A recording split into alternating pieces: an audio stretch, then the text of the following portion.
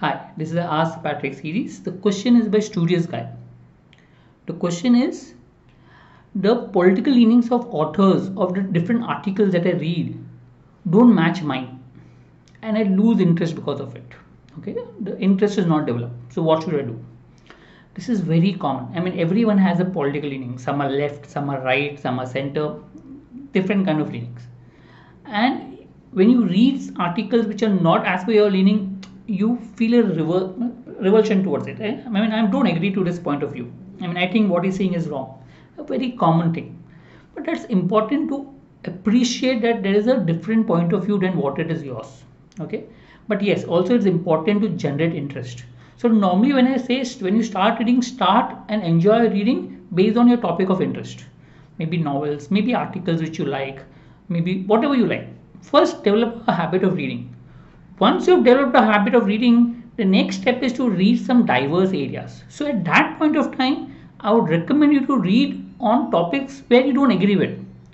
Because it's important that if you have a, such an article or such a passage in your exam you should be able to appreciate the author's viewpoint. You can't say that i am right and you're wrong. For example tomorrow you write an article and someone else who doesn't believe in what you say reads the article he will also feel the same revulsion, but he needs to appreciate what you have said. Because everyone has his own viewpoint from where he's coming up. And as a person who's solving a RC passage in the exam, you need to be able to appreciate the author's point of view. The biggest mistake that people do is people have their own feelings when they read the passage and therefore they're not able to comprehend the passage properly.